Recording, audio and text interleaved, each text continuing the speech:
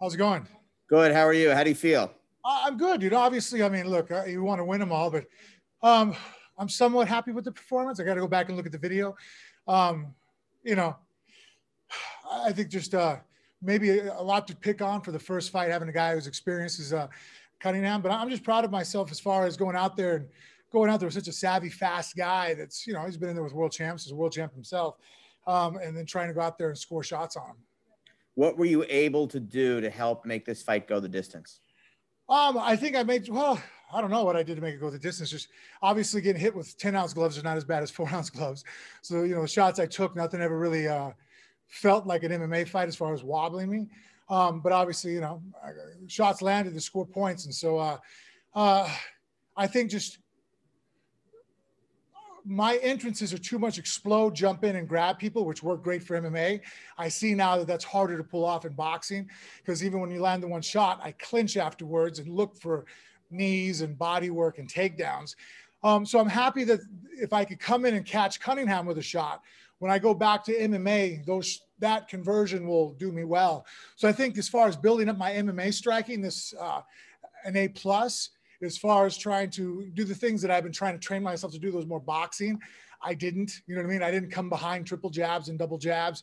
I kind of did the old just, you know, one, two, and then come behind that, you know, which, you know, for some boxers that works, like, you know, like a John Ruiz type, but I didn't make it work as well. Great. All right. First uh, media question coming from Donna Corby. Frank, uh, first off, I want to say I'm, I'm, writing for an MMA outlet, and I want to say that was an incredible uh, showing for the MMA community. Probably the best performance in a crossover fight that we have uh, have seen. Talk to me about what's next for you. Are you going to, to go back to Bellator? Are you going to go back to uh, to mixed martial arts, and, and when's the time frame for that? Well, I have BKFC that I'm trying to get a fight in also now, and then uh, as far as MMA, I'm not with Bellator anymore. Um, okay. So you know, I'm open to adventures there. Uh, one of my other trainers, uh, Carl Prince over in Manchester. We're talking about possibly doing uh, some things over there. So just keeping my ear to the ground. Obviously, first round management. Hopefully, will find me something. Uh, and uh, you know, before I retire, I'm fighting on the same card as my daughter, which she's doing MMA. So MMA is definitely still in the future. Being a part of this Triller experience was unreal. I mean, I've been a part of some big cards in the UFC, and I have to say, this might have been the most epic thing I've ever been a part of. So, uh, you know, see if Triller, I could do another one with them. Um, and, and, maybe even if they, uh, you know, hell, they can add another rope at the bottom and we could do an MMA fight. You've been hit by some of the hardest hitters with those little four ounce gloves in mixed martial arts. Fedor, pretty recently, Roy Nelson, Mark Hunt. Uh, the list is is is endless. Where does Steve Cunningham rank? Obviously, the, the gloves are different, but where does he rank in terms of the the harder hitters you've faced? Well, no, I mean, obviously getting hit with a four ounce glove compared to a 10, it's not a fair comparison.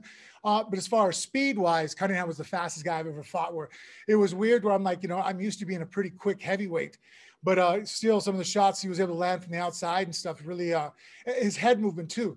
That's the one thing that uh, I'm having the hardest thing converting over. In MMA, if we move our head the way that Cunningham moved, our feet are still there so I can grab singles, doubles. And I can also, after throwing that first punch, if someone makes you slip that much, you can kick the leg.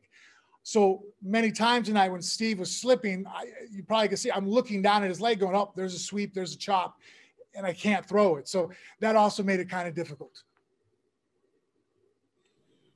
All right, thank you. Next up is Jeremy York. Uh, uh, finally good to talk to you there, Frank. Uh, I'm going to echo what he said as well. Uh, I think this is one of the uh, better performances we've seen, not only in a crossover, but uh, I, I, think you held up well with, with a world class boxer as Cunningham. Thank you. I really appreciate it. And that's really, honestly, that took a lot of pressure off me going into this fight. I wanted to represent mixed martial arts, saying, hey, we're also very good at boxing. Obviously, it was a pretty far, heavy task to sit there and go, I'm going to beat a boxer in my very first fight that's a world champion who's been in the world champions in a boxing match. But honestly, and I had said this going into it, and I stand true to my words. If I had lost a six round decision, but boxed well, that was preferable to catching Steve in the first 30 seconds. Look, I'm 275 pounds. If I would have caught him with a shot and dropped him, I don't think I'd have proved anything. Besides the fact, like, well, you had a 70 pound weight advantage and you hit hard. That doesn't do, wouldn't do well for the MMA community. I feel like going out there and going all six rounds and showing proficiency was a better statement. All right, next we have Gabriel Gonzalez. Hey, Frank. First off, uh, just to echo everyone else, great performance and great showing for the MMA community. I was wondering, can you talk to us what it was like from your standpoint waiting for it? Because over here on watching the broadcast, there was a lot of music. I mean, are you over there hearing Doja Cat and everybody in the locker room, or what was it like for you just waiting for your fight after the previous one? Uh, it was strange, you know. I mean, it was uh, like I said, this is probably the most epic thing I've ever been a part of, as far as just how complex the whole apparatus was.